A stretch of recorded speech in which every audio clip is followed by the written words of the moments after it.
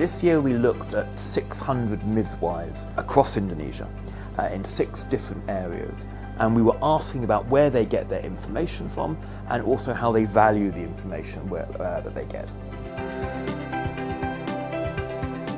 I think one of the really surprising things was how much midwives really trust the information they get from television and from other mass media sources and from the internet. And in some respects, they trust that information more than they trust it from other organizations like NGOs. We found that very interesting indeed.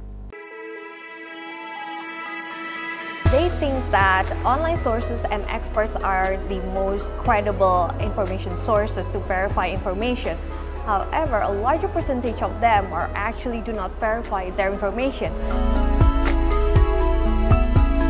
They seem to identify maternal health and pregnancy as their top issues. Surprisingly though, that nutrition is quite low on their priority agenda. Nutrition seems to be the top issues for them. So it shows that despite Indonesia's impressive economic growth, many poor Indonesians are actually left behind with malnutrition. First one is lack of understanding in reproductive health. Second one is lack of understanding in how HIV AIDS are transmitted. And then the third one is how family provides sufficient nutrition for their infants. Ministry of Health and BKKBN are actually on par with pharmaceutical and nutrition companies. And these are quite surprising findings.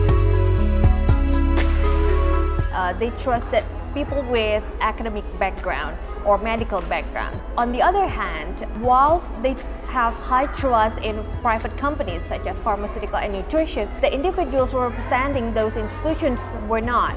Also least trusted is NGO representative. TV and other medical doctors as the trusted reference sources. Kalau dari TV kan mereka dengan mudahnya diakses.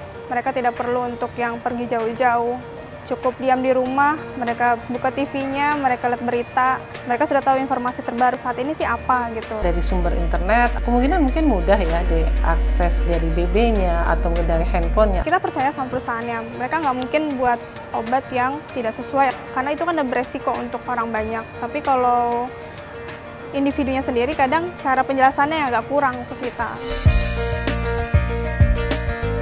Internet and TV are very important uh, for communicating health messages and information for healthcare practitioners. Ensuring that content is easy to find and communicated in an easy to access, understandable way, information needs to be relatable, uh, visual, shareable, and have a story that brings it to life.